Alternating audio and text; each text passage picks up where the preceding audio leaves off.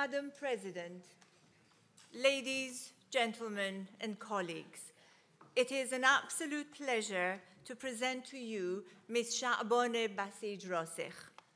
Shabana is globally recognized as an educator, activist, and advocate for education for women, not only in her native Afghanistan, but throughout the developing world.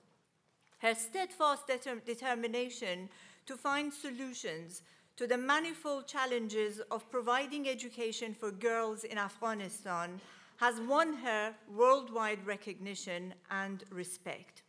She is the co-founder and president of SOLA, a Pashto word meaning peace, that stands for School of Leadership in Afghanistan, a non-profit organization focused on and dedicated to provision of quality education for young Afghan women in Afghanistan and abroad, regardless of their ethnicity or religion. Shabana often begins her speeches with a stark reminder that she is one of the lucky 6% of the Afghan women whose education has gone beyond the high school. Her poignant and inspirational personal journey began at the age of six, living in Kabul with a seemingly unremarkable desire to go to school. But in the Taliban governed Kabul of 1996, not only were women forbidden to work, but young girls were also banned from going to school. Any woman who appeared anywhere in public had to dress in the full burqa and be accompanied by a close male relative. It would be easy to assume that given the dire consequences of defying this rule, most Afghan families would have given up on the education of their daughters, but not Shabana's parents, who were unwavering in recognizing the value of education.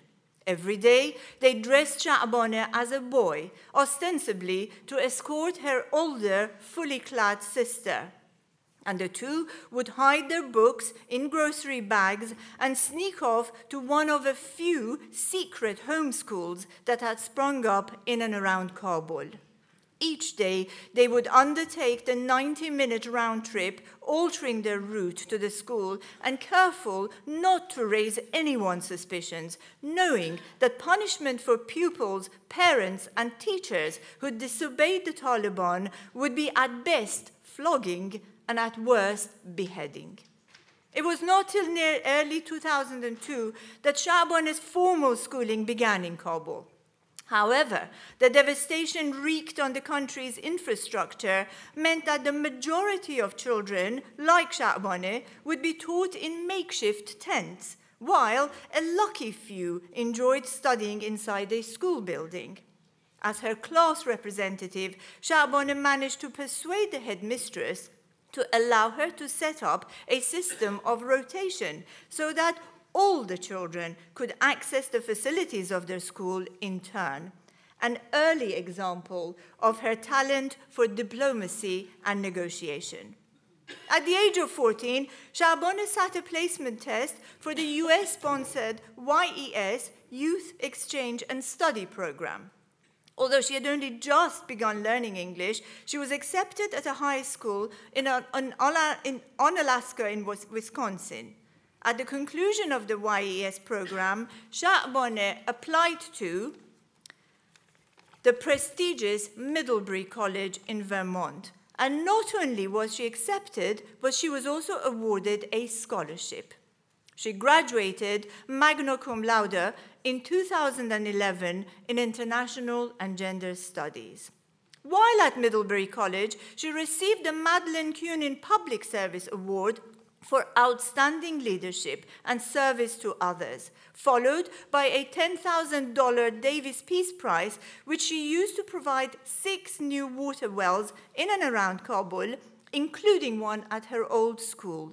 This was a clear testimony to her belief that alumni can play a vital role in the future of their institutions, and that nation building often needs to start at the most basic level.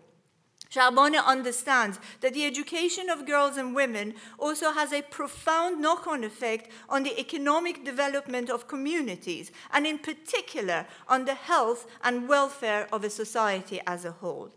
Shabana Basij Rasikh's impressive international advocacy for girls' education has attracted praise from around the world, including from Ban Ki moon, UN Secretary General, and Hillary Clinton.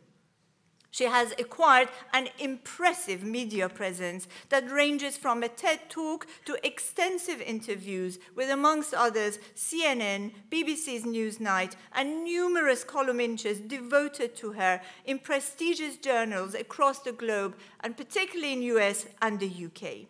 Moreover, she has been the recipient of a number of significant achievement awards, the latest of which is the 2016 Forbes 30 Under 30 Summit Impact Award.